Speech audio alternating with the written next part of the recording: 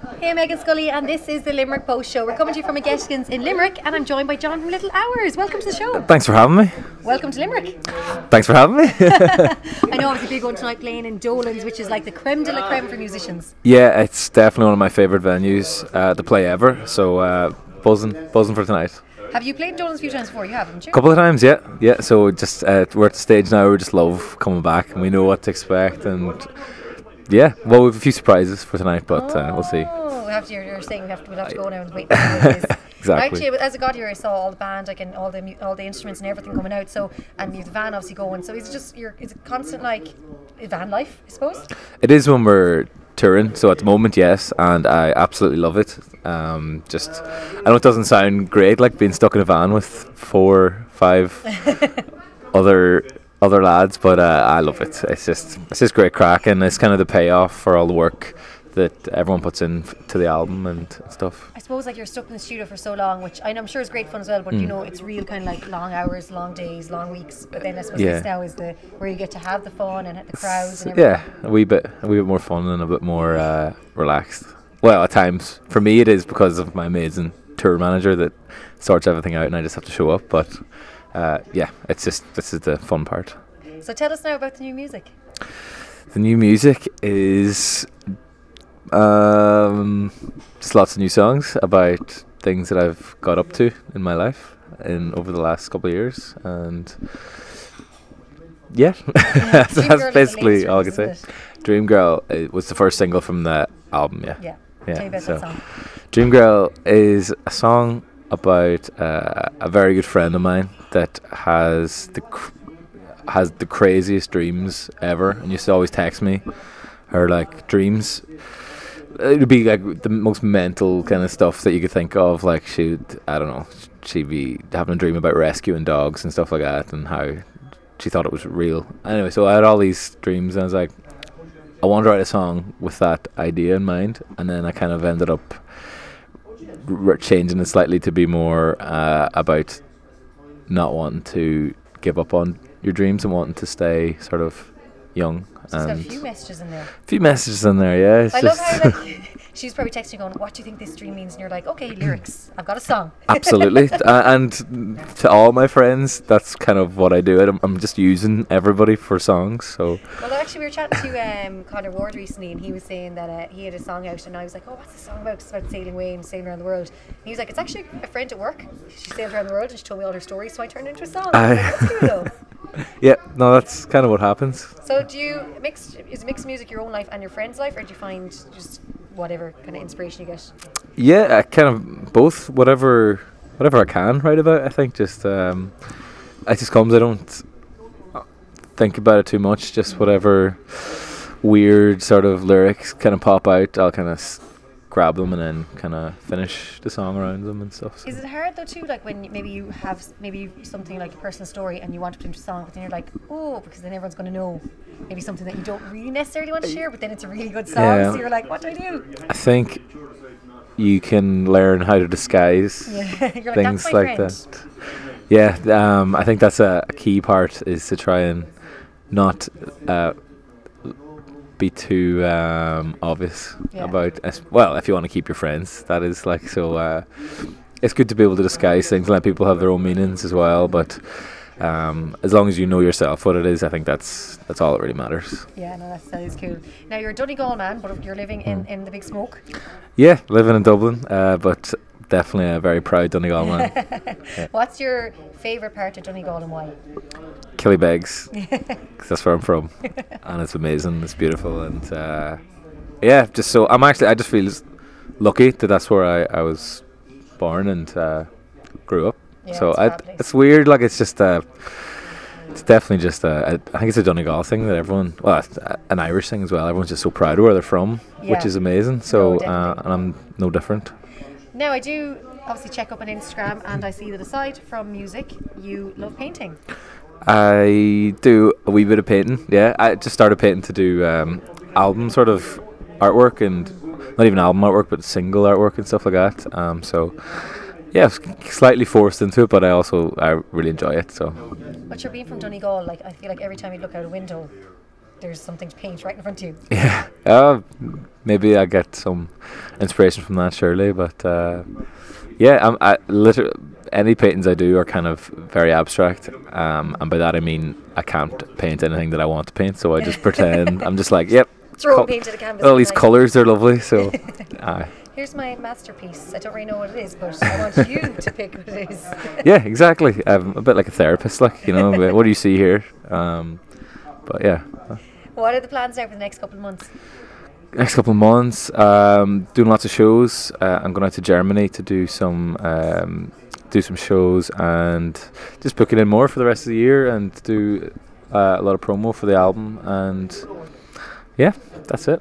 Mike, we were saying, was telling us earlier that obviously we're McGettigan's, they're in Dubai, and he's saying you've been over there a few times, and he's Aye. says it- apparently it's pretty fun over there. It's fun. Yeah, it's good over there. Um, I'd love to get back soon. Um, but yeah, no, I've been very lucky to uh, have the opportunity to go out. Been out a few times now, actually, and they're always so good to us. And and yeah, it's it's amazing. Because they are originally Donegal family, aren't they? I think so. Yeah, I think Yeah, are. yeah. I I'm pretty sure. I might have to. That's probably the only up. reason we, we're going out. I don't know. Ah, no, come on. um, but I just think it's great because I've been dying to go over every year, especially in the St. Patrick's weekend. Yeah. But then, like, all my friends in Dubai, and they're watching other stories, and I'm seeing all you guys over there, like all the Irish acts, and I'm like, this just looks amazing. It's literally like going over to a, like a festival in Ireland with ridiculous weather. That's what it's like. Um, so yeah, definitely So go if you can. Irish, isn't there? Aye, It's packed of Irish people. yeah, it's very good. Sounds like a really fun place. I've only ever been over there for a couple of hours, and like that, it's just really hot. Yeah, I suppose you're in the middle of the desert, so what do you expect? exactly. yeah, yeah. No, it's it's class now. It's always good fun. Now, tell us, of course, we're in Limerick, um, you're gigging in Dolan's. Asi- Aside from Dolan's, is there anywhere else in Limerick you get a chance to go see, or is it just a case of gig, road, next venue? Or do you ever get some downtime when you're here? Um, actually, unfortunately, there hasn't been that much downtime Yeah. in Limerick ever. It's sort of been um, always in the middle of a tour, um, so it's kind of been in and do sound check and do the show, and then we're gone the next morning. But uh, when we get here, we just live in Dolan's pretty much, and, and they feed us and they they give us, and it's just it's like heaven. So it's it's great. Well, we were asking um, some of the Limerick Post Show uh, viewers, um, you know, if you were to go spend a day in Limerick, what you should do. And obviously Dolan's is one of them, but you're playing there anyway, so that's that's going to tick off the list. yeah. Um, the Milk Market at the weekends is one where you come in and you can like get coffees and fresh Okay. produce. Um, JJ Bowles is one of the bars that was mentioned to go for a pint of Guinness. Uh, Curragower for chicken wings if you're a fan of chicken wings. Okay. Um, uh, they're a huge fan of them around here. Um, Chicken Hut for this special gravy that they have that nobody knows the recipe to, Right. but it's famous. Chicken hot gravy. Yeah. That sounds It's a thing. sounds like I think the guys will jump at that. Surely. And then uh, someone else said icon for a boogie, like proper, like old school dance music, like real kind of, Okay. you know, taking it back a couple of years, Spice Girls, Boyzone, you name it, you're going to hear it inside there. Yeah. That sounds good, boy. Hard to beat Boyzone, I think. So Well, there you go. yeah. Were you a fan growing up? No. My first gig was Boyzone. Was it? point I um, I'm, uh, maybe I shouldn't say it. Actually, you might think I'll be very uncool if I tell you. Go on, go on. But I think one of the first bands I ever listened to was Busted, and That's not bad. that's pretty bad. No, it- come on. You'll hear Year 3000 when you're an icon. Year three, th- is it really? Yeah, okay, yeah, yeah, I'll they'd- they'd be definitely be there then. So, and uh, what I go to school for, that was probably the, Oh, yeah, the biggest that's a good song of my, you know, my 12 year old life. Not a bad song. Now, speaking of songs, you're going to perform for us. yeah, What are you going to perform? I, I'm going to do a song called Favorite Clothes, and it's from the album. All I can say is thank you so much for chatting to the Post Show. Thank you. And for any social media, is it Little Hours all across the board? Yep, and it's Little Hours Music across the board. Twitter, Instagram, Facebook. Yep. Like, And if I'm muting this any app, I'm trying to think. YouTube. YouTube. That's one people are trying to get back into. So Yeah. Well, there you go. That's that's them all there. That's the plug Yeah. done. Thanks so much again for chatting to us. Oh, thank you. Thanks for having me. We're going to go and uh, listen to your song. Class. Thank you.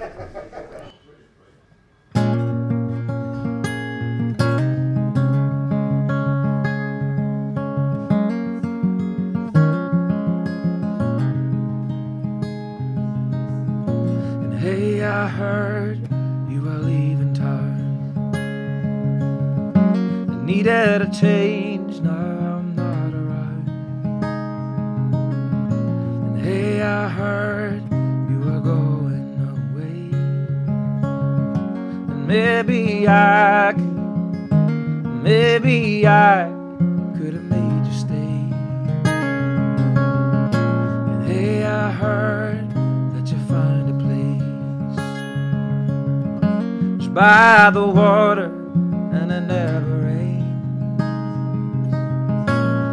And I heard that you're happy now. And there's a boy, and there's a boy who can make you smile. And all I wanna do is take you to the city, take you to your favorite part of town. You'll dress up in all your favorite clothes, just so I can dress you down.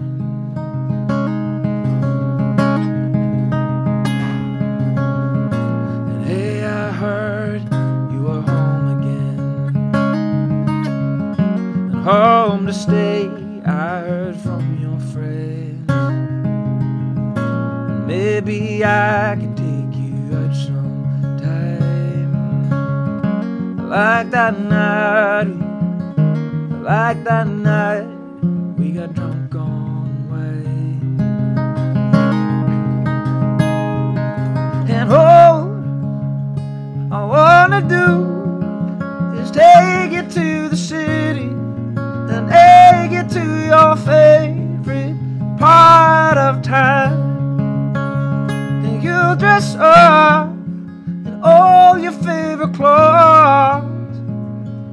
so I can dress you down.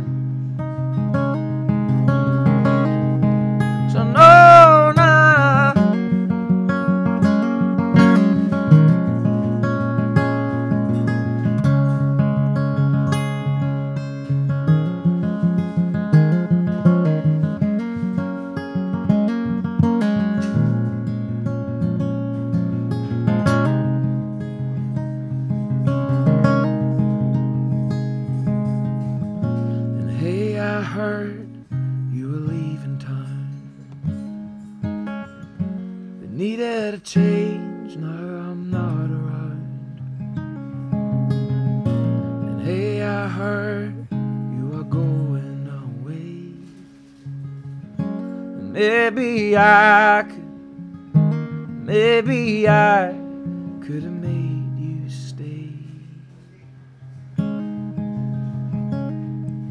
And all I wanna do is take you to the city and take you to your favorite part of town.